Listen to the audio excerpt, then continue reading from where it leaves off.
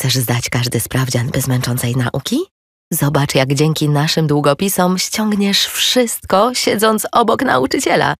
Spójrz, ściągę w długopisie widzisz tylko ty. Spisujesz wszystko, a nauczyciel widzi tylko zwykły niebieski długopis. Wejdź teraz w link w opisie i zobacz zakazany długopis. Słuchajcie, to były ciężkie dwa dni. Po prostu ja byłem tak zły.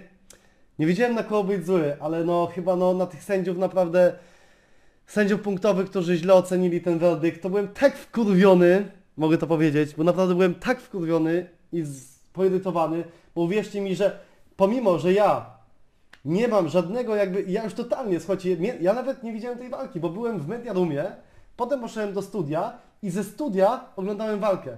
Jak zobaczyłem werdykt, że wygrał y, y, Adrian Polak, to mówię, o kurwa.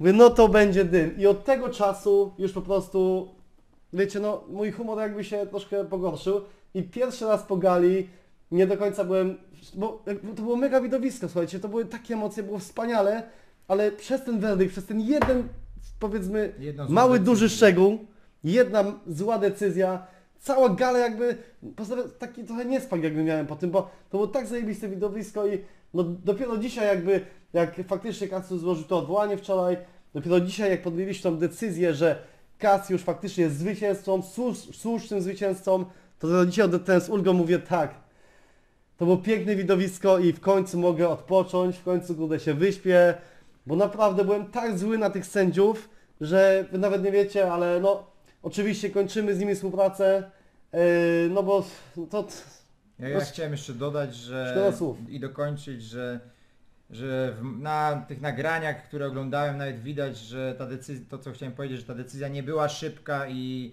i szukaliśmy nawet jak, błędu już od razu, czy, czy tam nie było jakiejś pomyłki.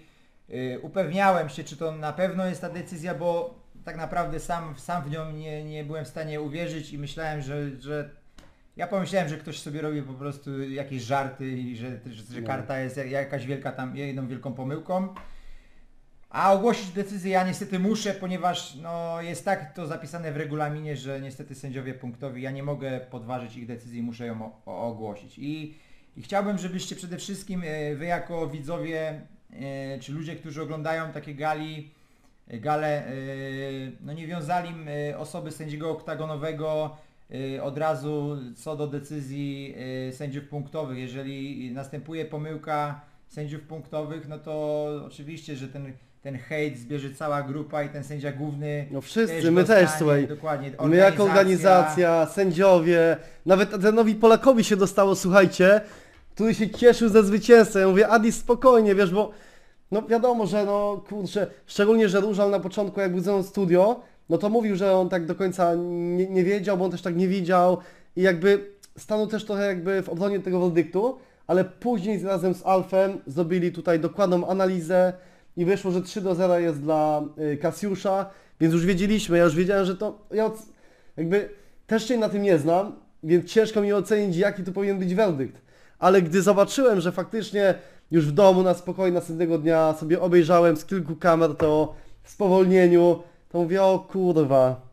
Taki błąd, no to był duży błąd, słuchajcie, to był duży błąd, który się rzadko kiedy zdarza i nie powinien się wydarzyć. No bardzo. To była bardzo duża pomyłka sędziów i ona się nigdy w życiu nie powinna wydarzyć. I słuchajcie, to nie jest tak, że y, tylko cie- cierpią ci sędziowie, ale też cierpieliśmy my na tym, ja nawet, Boxdel.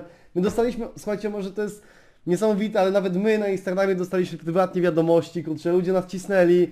Naprawdę i to jest, to jest przykre, bo my nic złego nie zrobiliśmy, a nam się też ode- oberwało. Przez błąd dwóch osób nam się oberwało. I mi, i Boxdelowi, a my wprowadziliśmy w tą galę miesiące przygotowań.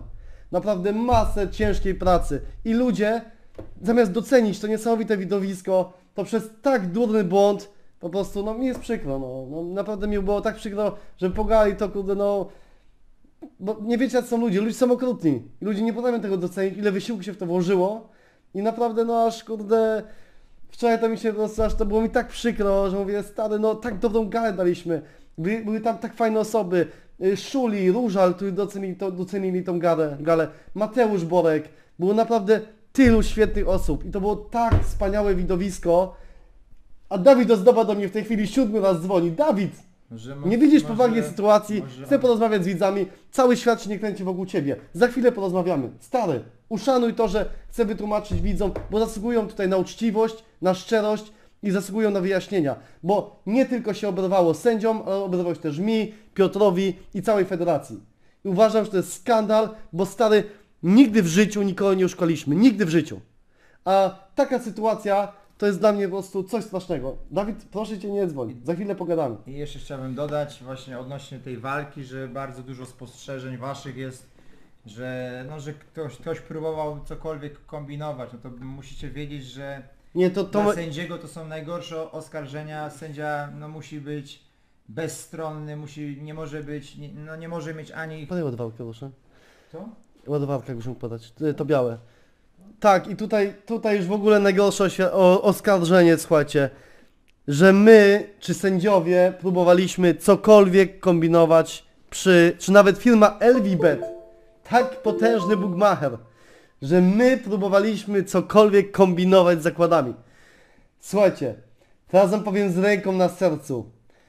To było jedno z największych widowisk w Europie. Podejrzewam, że pobiliśmy rekord pay-per-view europejski.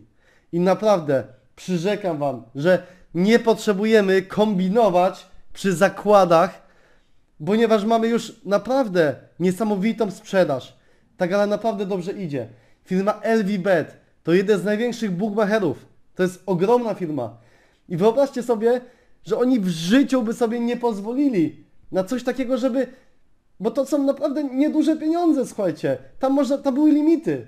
Ile był limit? 2000, 3000? Nie mam pojęcia. Ale czy myślicie, że dla przysłowiowych 10 groszy tak potężne firmy by po prostu próbowały coś kombinować przy zakładach gumacherskich? To jest dla mnie po prostu niemożliwe. Ja... Słuchajcie, to jakby... Moim zdaniem no, jest, jest to oburzenie po prostu ludzi, którzy gdzieś tam e, Znaczy ja ja dokładnie, ja się- ja do- no Ja, ja w ogóle nie mam nie absolutnie... jakiś To jest sposób. uzasadnione, to jest całkowicie uzasadnione pretensje do nas, bo ja was, widzowie, którzy postawili pieniądze, ja was całkowicie rozumiem, ja szanuję wasze pieniądze. Bardzo szanuję wasze pieniądze. Szanuję każdy grosz. Takie 50 zł to są duże pieniądze. I jeżeli ktoś to postawił i przegrał przez ten werdykt, ja to bardzo szanuję. I dlatego nie pozwolimy, powiedziałem rano, obejrzałem walkę i powiedziałem, nie pozwolimy, aby ktokolwiek poczuł się oszukany. Yy, I tutaj Kasiusz po proteście jest zwycięzcą walki. Yy, zakłady, tutaj LVBet wykazał się naprawdę niesamowitym tutaj, yy, bo to się nie zdarza, słuchajcie. Pieniądze, które zostały postawione na Adriana Polaka, zakłady zostały tak jak są. Wygra, te osoby wygrały. Pieniądze, które zostały postawione na Kasiusza, dostaną zwroty te osoby, słuchajcie. To jest taka sytuacja, nie wiem czy gdzieś miała miejsce, ale tu ogromny ukłon, ukłon, ukłon, ukłon, przepraszam, ale się stresuję, bo dla mnie to jest taka sytuacja, że jestem w szoku po prostu.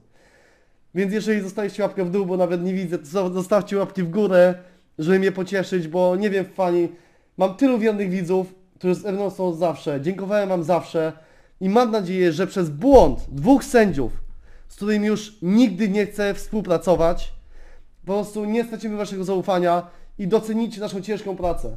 Bo naprawdę jestem osobą, która była szczera zawsze wobec was, która wkładała całe serce w to wszystko, która dawała z siebie wszystko i nie chcę cierpieć ja za błąd człowieka. Jesteśmy ludźmi, jesteśmy omylni. Ja rozumiem, że panowie się mogli pomylić, ja to rozumiem. Ale uważam, że to była skandaliczna pomyłka, skandaliczny błąd, który nigdy nie powinien mieć miejsca. Dla, dlatego y, ci sędziowie zostaną odsunięci.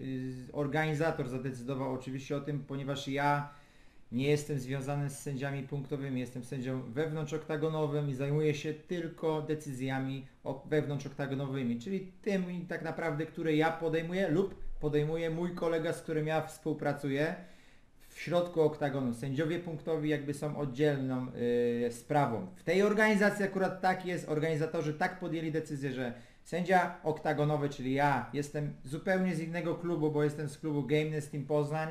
Jeżeli sobie wpiszecie moje imię, nazwisko, za każdym razem wys wysk wyskoczy Wam, gdzie walczyłem, gdzie jeździłem na zawody i jaki klub re reprezentowałem i zawsze był to klub Gameness Team Poznań, a nie klub Czerwony Smok, więc wiązanie mojej osoby z klubem Czerwony Smok jest yy, po prostu jakimś wymysłem.